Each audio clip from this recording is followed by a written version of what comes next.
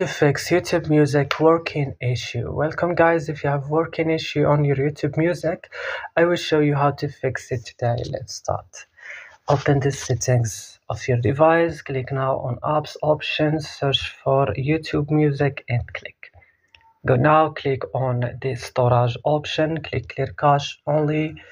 Back after that, click on force stop now, click OK come to Play Store or App Store, update your YouTube Music. After updating it, restart your device and that's it.